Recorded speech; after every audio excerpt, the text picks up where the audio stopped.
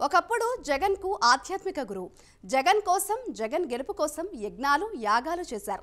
Jagan CM అయిన తర్వాత తన వల్లే అయ్యాడని చెప్పుకున్నారు. భూములు దోచుకున్నారని ఆరోపణలు ఎదుర్కొన్నారు. జగన్ మరో ముప్పై ఏళ్ళ పాటు ఏపీకి ముఖ్యమంత్రిగా ఉంటారని ప్రకటించారు. ఆధ్యాత్మిక పీఠాన్ని రాజకీయమయం చేశారు. తన రాజకీయ వ్యాఖ్యలతో ఇప్పుడు బాలి మార్చారు. ఏపీలో కూటమి అధికారంలోకి రావడంతో స్వామివారు పునరాలోచనలో పడ్డారు. అయినా చేసిన దోపిడీ దాగుతుందా?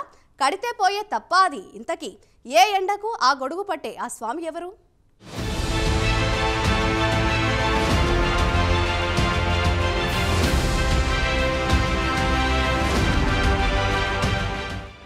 విశాఖ శారదా పీఠానికి మంచి పేరుండేది. స్వరూపానంద స్వామి పీఠాధిపతి అయిన తర్వాత రాజకీయాలకు కూడా నిలయంగా మారింది. వైసీపీ అధినేత జగన్కు ఆధ్యాత్మిక గురువుగా పేరు తెచ్చుకున్నారు.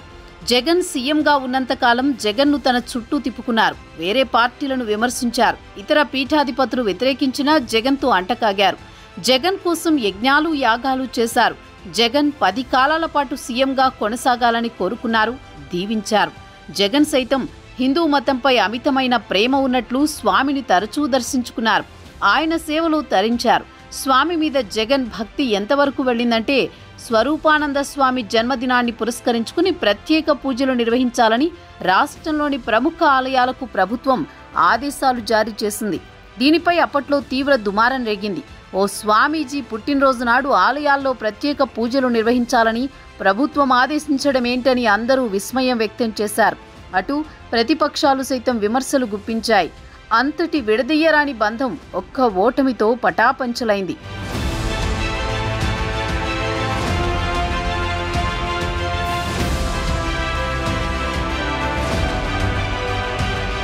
తాజాగా ఏపీలో ప్రభుత్వం మారినట్లు విశాఖ శారదా పీఠాధిపతి స్వరూపానంద సరస్వతి కూడా మారినట్లున్నారు. గతంలో చంద్రబాబు టీడీపీకి వ్యతిరేకంగా మాట్లాడుతూ వైఎస్ జగన్ మరో ముప్పై ఏళ్ళు ముఖ్యమంత్రిగా ఉంటారని ప్రకటించిన స్వరూపానంద తాజాగా ప్లేట్ ఫిరాయించినట్లున్నారు. ఈ క్రమంలో తాజాగా ఆయన టీడీపీ అధినేత చంద్రబాబుపై పొగడ్తల వర్షం కురిపించారు. ఈ విషయంలో ఎవరూ ఊహించని స్థాయిలో స్పందించారు. టీడీపీ అధినేత చంద్రబాబుపై ప్రశంసల జల్లులు కురిపించారు. దీంతో ఈ విషయం ఆసక్తిగా మారింది. అటు కేంద్రంలోనూ ఇటు రాష్ట్రంలోనూ నూతన ప్రభుత్వాలు ఏర్పాటు కావడం సంతోషంగా ఉందని అన్నారు. ఇదే సమయంలో చంద్రబాబు పవన్ బీజేపీ కూటమి అధికారంలోకి రావడం ఆనందంగా ఉందని తెలిపారు.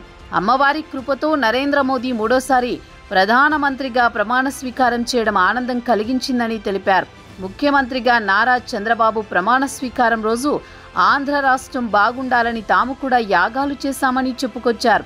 ఇదే క్రమంలో చంద్రబాబు ప్రమాణ స్వీకారం చేస్తున్నది అద్భుతమైన ముహూర్తమని సింహలగ్నమని తెలిపారు. ప్రజలకు నచ్చే విధంగా పరిపాలన చేయాలని ఆశీర్వదిస్తున్నట్లు వెల్లడించారు. ఇదే సమయంలో తనకు అత్యంత ఆత్మీయుడు అయిన ఎర్రనాయుడు కుమారుడు కింజారపు రామ్మోహన్ నాయుడు కేంద్ర కేబినెట్ మంత్రి కావడం సంతోషంగా ఉందని కూడా తెలిపారు.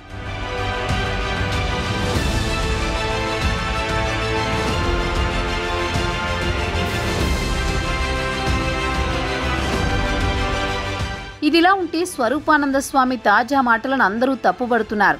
స్వరూపానంద స్వామి ఇప్పుడు మీడియా ముందుకు వచ్చి తాము రాజకీయాలకు దూరమని తాము ఏ ప్రభుత్వంలోనూ తలదూర్చబోమని చెప్పడం విడ్డూరంగా ఉందని ఏపీ సాధు పరిషత్ నేత శ్రీనివాసానంద సరస్వతి ఘాటుగా స్పందించారు.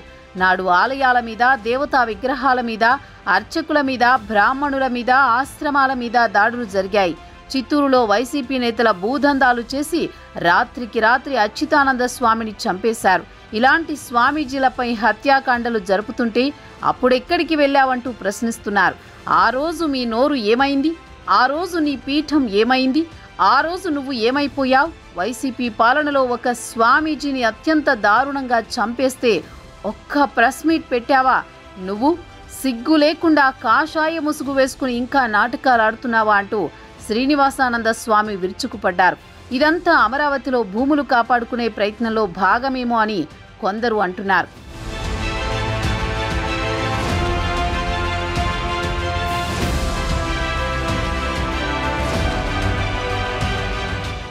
అదేవిధంగా రామతీర్థం ఆలయంలో రాముడి శిరస్సు ఖండిస్తే స్వరూపానంద స్వామి మిన్నకున్నారని విమర్శలు ఉన్నాయి. అంతర్వేదిలో రథం తగలబడితే గమ్మునున్నావు.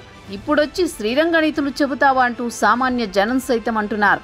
ఒక వ్యాపారస్తుడిగా ఒక భూ కబ్జాదారుడిగా సెటిల్మెంట్లు చేసుకునే వ్యక్తిగా స్వరూపానంద స్వామిని చిత్రీకరిస్తున్నారు నెటిజన్లు.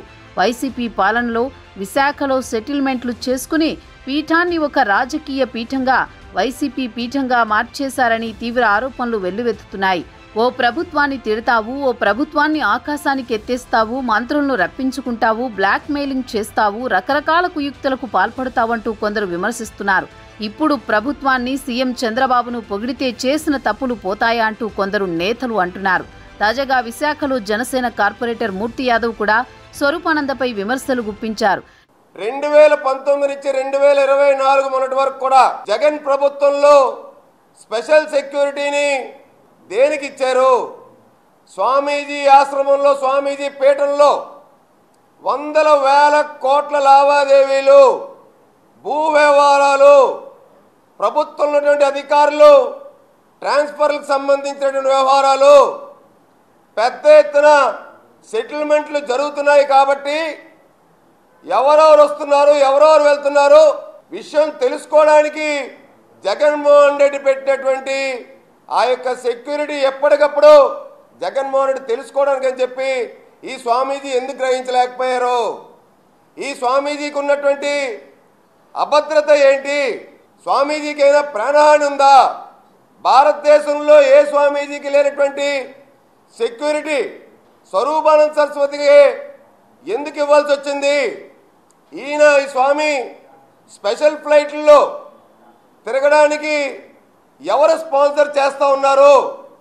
నీ వేషాలిక చాలించు స్వామి అంటూ వ్యాఖ్యలు చేస్తున్నారు జనం. ఇప్పటికైనా మారి పీఠానికి ఉన్న పవిత్రతను కాపాడాలని హిందూ సమాజం కోరుతోంది. చూడాలి స్వామివారి భాగోతం ముందు ముందు ఎలా అవుతుందో.